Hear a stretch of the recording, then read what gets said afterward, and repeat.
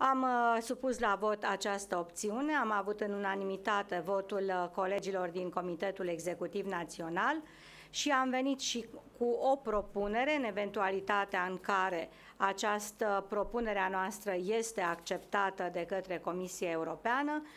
uh, propunerea Partidului Social Democrat fiind Mircea Pașcu. Am uh, considerat că este un om cu experiență, este euro, fostul europarlamentar care a obținut, uh, care a deținut un post foarte important în Parlamentul European, vicepreședinte al Parlamentului European.